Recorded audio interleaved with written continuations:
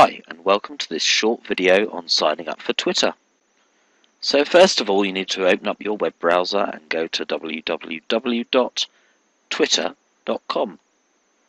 Then go to the new to Twitter sign up box on the front page, type in your name,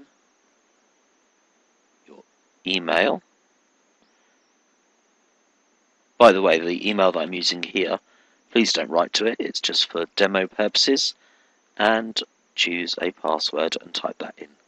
Click up the orange button for sign me up for Twitter and then your last job is to choose a username. Now this is where it can take a few attempts before you get the username that's available, but it's very important that you get a username that's appropriate for you. Ideally, if you're an author, your name or pen name. So I'm going to go ahead and try and find something that's vaguely relevant.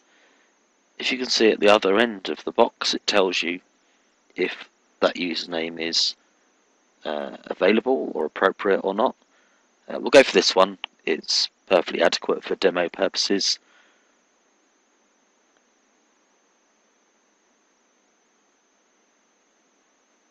There we go, got a green tick. And then you can just create an account.